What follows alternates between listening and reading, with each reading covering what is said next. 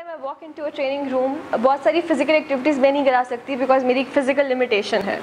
लेकिन at the same time आप दूसरों को वो करवा सकते हैं डिपेंडिंग ऑन योर मूवमेंट बहुत सारे ऐसे डिसेबल्ड लोग होते हैं जिनके दोनों हाथ भी मूव नहीं करते। और वो बहुत अच्छे ट्रेनर्स हैं। दे निक हाँ।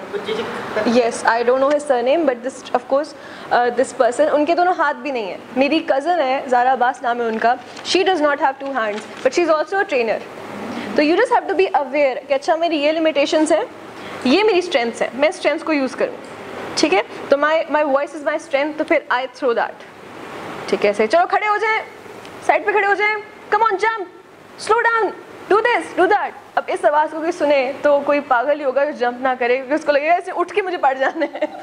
ठीक है? सो यूज़ योर स्ट्रेंथ आप बैठ के भी अपना करा सकते हैं एनर्जाइजर कोने में बैठ के करा सकते हैं depending on how you craft it ठीक है